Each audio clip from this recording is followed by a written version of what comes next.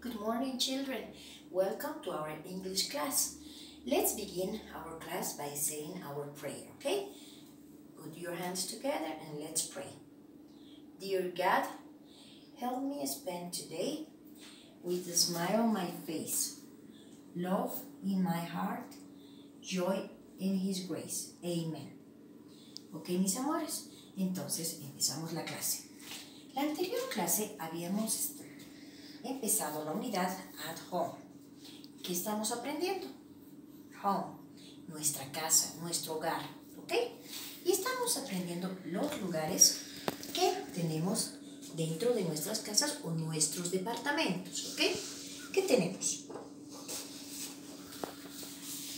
Tenemos bedroom. Este es un dormitorio, es un dormitorio de un bebé. Baby's bedroom. Tenemos bathroom, ¿ok? El baño. También tenemos nuestro living, living room, nuestra sala, living room, ¿ok? Tenemos la cocina, kitchen. Very good. Yo les estoy escuchando lo que están repitiendo. Excellent. Yay! ¿Ok? Aquí tenemos otra casa. A house, una casa. Aquí tenemos garden, el jardín. ¿Ok? También hemos aprendido cómo se dice comedor, que es dining room, right? Entonces, ahora, ¿qué más estamos aprendiendo? A preguntar dónde se encuentran las personas. Por ejemplo, Where is Tom? ¿Dónde está Tom? Respondemos. Tom is in the... Y aquí ponemos el nombre de la habitación en la cual se encuentra. Puede ser kitchen, living room, dining room, garage, depende. También cuando queremos preguntar acerca de una señorita. Where is Carla? Carla is in the. De igual manera, llenamos con la habitación que corresponde. Ahora bien, ¿qué también hemos aprendido? Vamos a usar pronombres personales. Los pronombres personales son aquellas palabras que sustituyen al nombre, que toman el lugar del nombre. Por ejemplo, mis babies, en vez de decir Tom, ¿qué podemos decir? Él. ¿Ok? Y él en inglés se dice he. Cuando hablamos de una señorita, de una niña, Carla. En vez de decir Carla, decimos ella.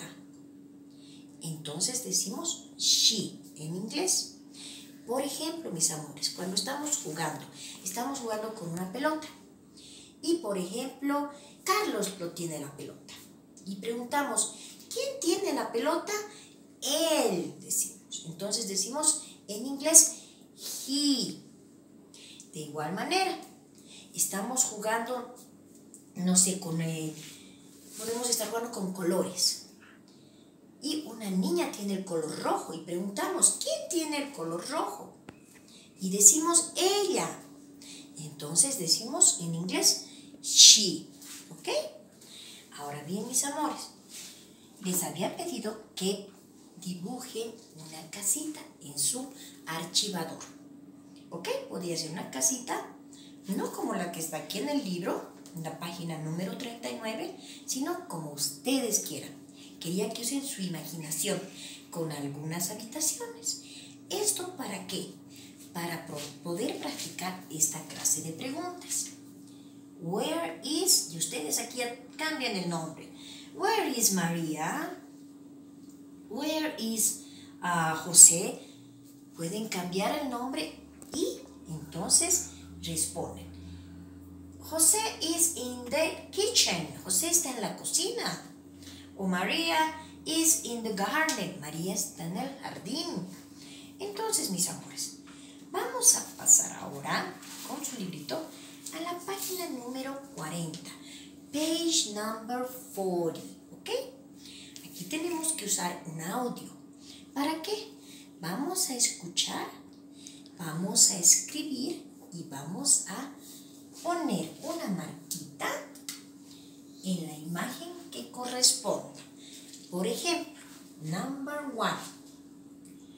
Where is dad? ¿Qué nos están preguntando? ¿Quién es dad? Excelente, nuestro papi. ¿Y qué nos están preguntando?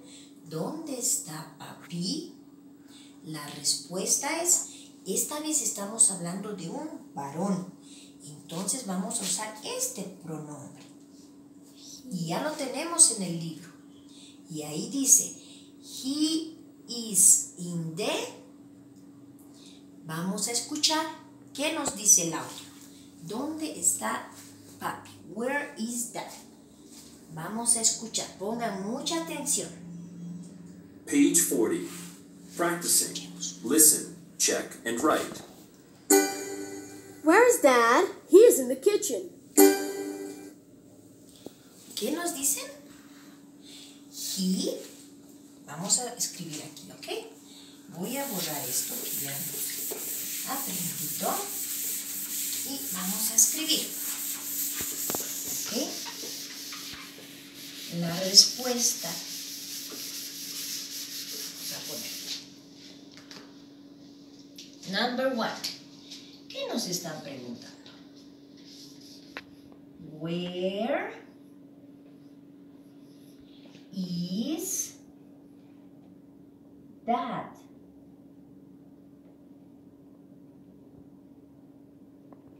¿Dónde está papi? ¿Y qué hemos escuchado? He is in the ¿Cuál es la habitación? Kitchen.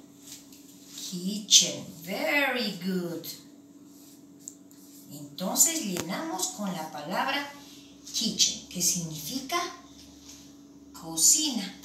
Ahora nos fijamos las tres imágenes que están al lado de la pregunta y vemos cuál es la correcta. En la primera, papá está in the living room.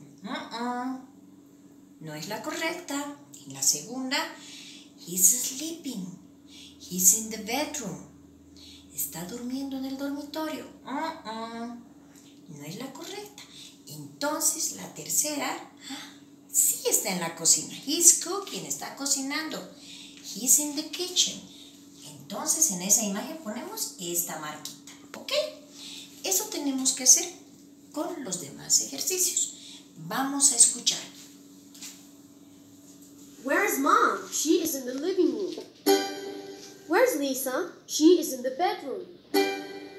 Where is the baby? He is in the dining room. ¿Ok? One more time, ¿ok? Vamos a escuchar. Page 40. Practicing. Listen, check, and write. Where is Dad? He is in the kitchen. Where is Mom? She is in the living room. Where's Lisa? She is in the bedroom. Where is the baby? He is in the dining room. Ok, ahora bien. Vamos a ver. Number two. Where is mom? ¿Cuál es la, la respuesta correcta? She is in the living room. Living room.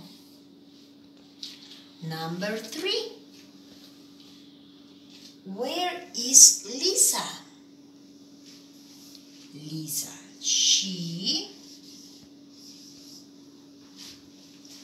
is in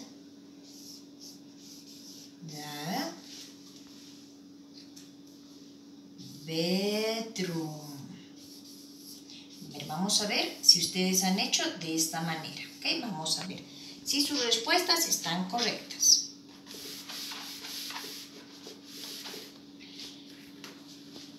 The last one. Where is the baby? Where is the baby?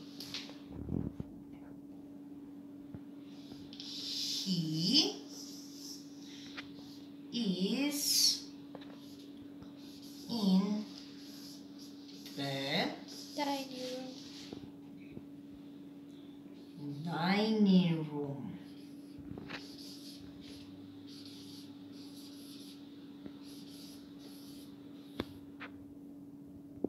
Dining. Okay? These are the correct answers. Estas son las respuestas correctas. Ahora bien, lo que quiero que hagan es que repitan cada pregunta y cada respuesta. Vamos a leer juntos, ¿ok? Empezamos. Where is dad? He is in the kitchen. Where is mom?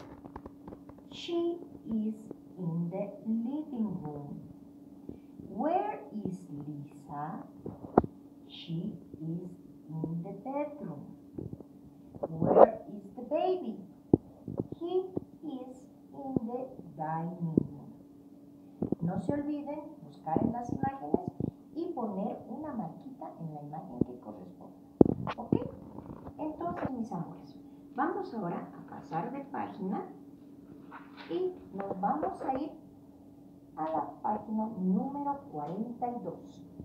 Page 42. ¿Qué es lo que vamos a hacer en esta página? ¿Qué dice? Look and answer.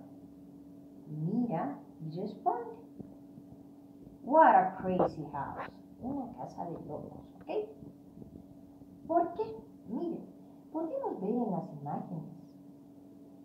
Tenemos una mesa en el garage. Tenemos una ducha en el dormitorio. ¿Esto está correcto? A ver, ¿qué es lo que quiero que hagan? Habíamos aprendido en esta misma lección a nombrar los objetos que se encuentran en las diferentes habitaciones. Por ejemplo, sofa. Sofa es el sillón. Toilet es el inodoro. Stove, que es la cocina, ya les he dicho, el aparato donde cocinamos, ¿no? Donde tiene las hornallas. Bed es la cama. And table es mesa. Y nos están preguntando dónde están estos objetos. Dice, where is the sofa? ¿Dónde está el sofá? Y vemos y vemos que el sofá está en el baño. Entonces la respuesta correcta es, déjenme volver una vez más, ¿listo?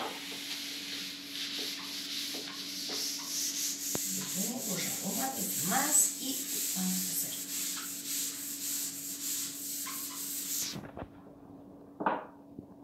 vamos. Nos están preguntando. Where?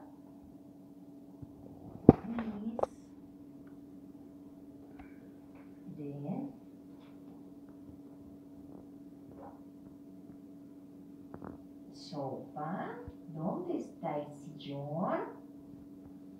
¿Y qué responderíamos? Si creemos que el sillón está en el baño. Entonces la respuesta es is in the bathroom. No se olviden escribir correctamente cada palabrita, ¿ok? In the bathroom. Entonces, ¿qué es lo que vamos a hacer? Me van a hacer cada una de estas respuestas. Me van a responder. La segunda, where is the toilet? Where is the stove? Where is the bed? And where is the table?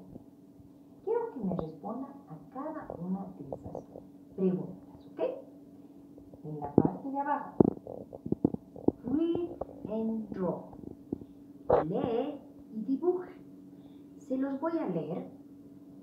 Quiero que ustedes también en casita agarren su librito y lean. Y tienen que dibujar lo que entiendan, ¿ok? Dice, This house. It has two bedrooms, one living room, one bathroom, one big kitchen, one dining room, and a garage. My mother is in the living room. Entonces, mis amores, según lo que han entendido, quiero que me dibujen en el cuadrito que tienen abajo. ¿Ok? Ahora bien, por favor, vean bien cómo escriben cada palabra. Esto es muy importante en el inglés. ¿Ok, mis amores? Entonces, ¿qué más vamos a hacer? Nos vamos a ir a la última página, page number 43. Página número 43.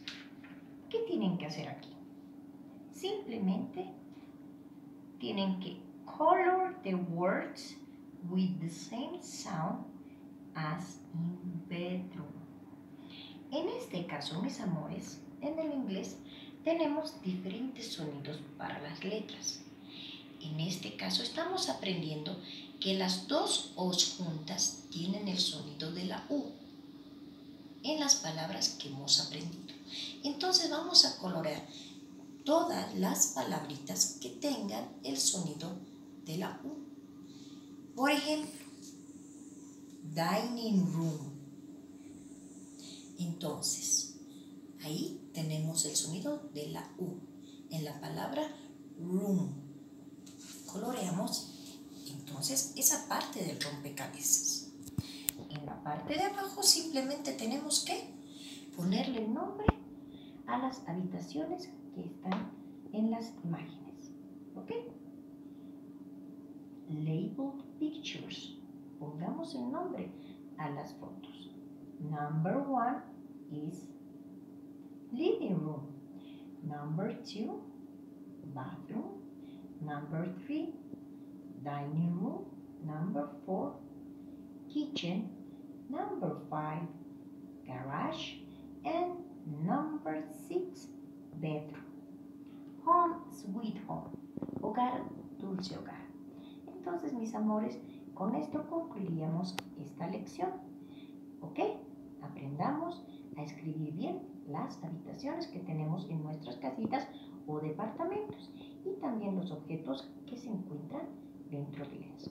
¿Ok, mis amores? Eso es todo por la clase de hoy. Los quiero mucho. Les mando miles de besitos. Que